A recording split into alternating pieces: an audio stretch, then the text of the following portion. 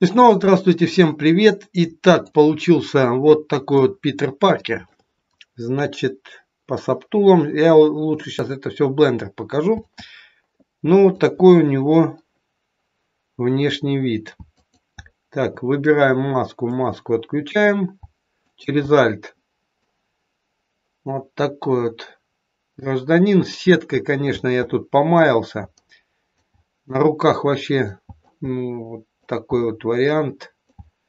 Да-да-да, не самый лучший такой вариант. Ну, так вот у меня получилось. Я помаялся с этой сеткой. Не знаю, надо что-то придумать, как ее делать. Мышом вообще неудобно вести. Если что-то маскировать, еще так себе мелкое что-то рисовать, тоже не получается хорошо. Так, это вот такой вот вариант. Здесь он более-менее... Так, это сколько у него? Почти 4 миллиона полигонов. Вот так он выглядит. Так, еще что у него тут? Сейчас я вам покажу, наверное, тут. Так, э, вот.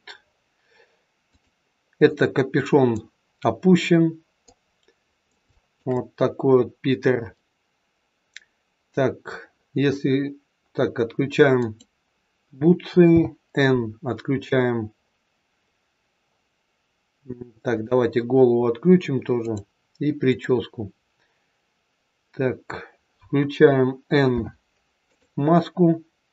То у нас уже вот такой вот Питер Паркер. Короче, два варианта. Так, заходим в Blender. Сейчас там посмотрим. Такой вот обзорник. Ну и модель, конечно, можно будет скачать, как всегда, ссылка в описании. Итак, вот две модели. Значит, это модель Питер Паркер полностью чисто Человек-паук. Потом здесь выходит, значит, рубаха. Потом выходит замок, бегунок, Следом две майки. Одна с капюшоном, одна э, со сложенным капюшоном. Вот они. Так, что еще тут? Штанцы.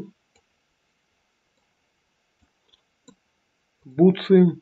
Кроссовки. Ну, два варианта. Один с головой, с лицом, с глазами. И один вот таким вот образом выглядит. Полигонаж тут, конечно, вообще я уменьшил по самое не могу. Вот так вот.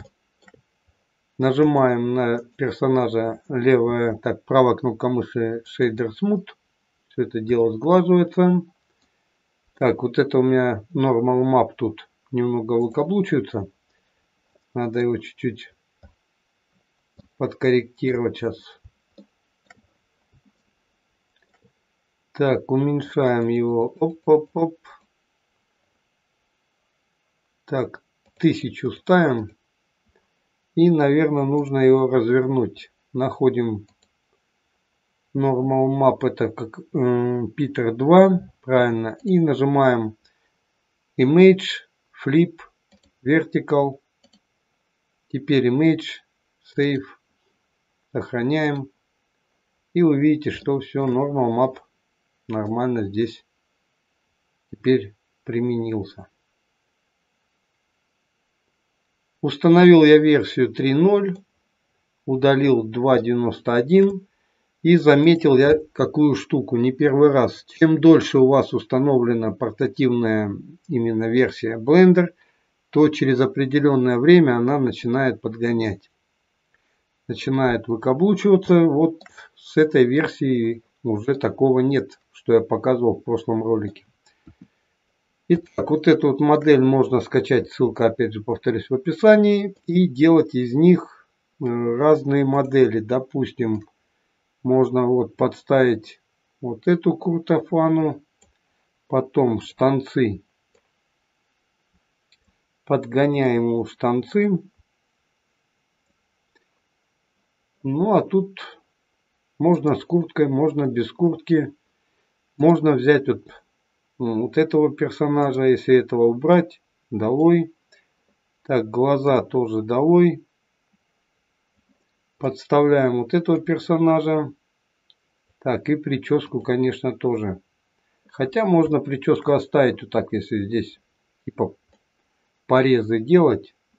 Можно его и с прической эксплуатировать. Так, штаны подтягиваем, майку выравниваем. Если что-то где-то будет выпирать, ну типа как тут, потому что сетку я уменьшал, то можно зайти в Sculpt Mode. Так, Sculpt Mode. F английская кисточку вытягиваем побольше. Ставим X симметрию и чуть-чуть это дело значит подкорректировать. Это уже не проблема. Так, это вот сюда, это вот сюда. Также со штанами можно поступить. Так, чуть-чуть. Во. Вот таким вот образом, короче, все это дело можно обыгрывать. Так, теперь можно ставить ему куртку. Можно куртку не ставить. Так. Вот таким образом теперь выглядит персонаж. Можно его использовать в анимации. Также можно ему назад подставить кроссовки. Так.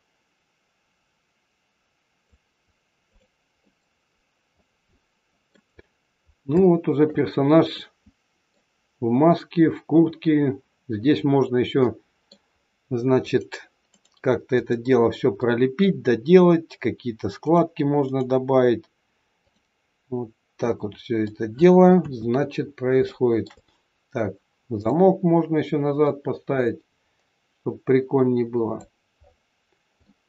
Ставить ему рик и делать какие-нибудь анимашки.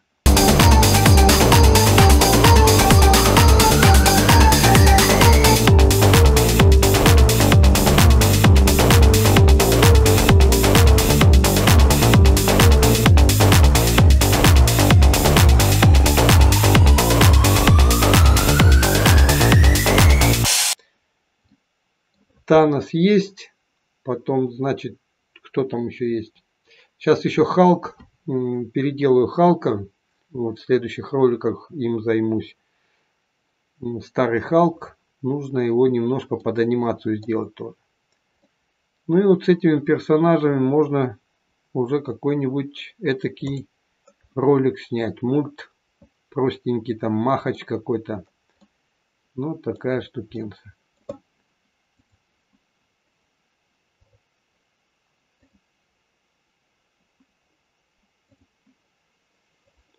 Так, настраиваем немного свет. Посмотрим, как он выглядит при настройке света.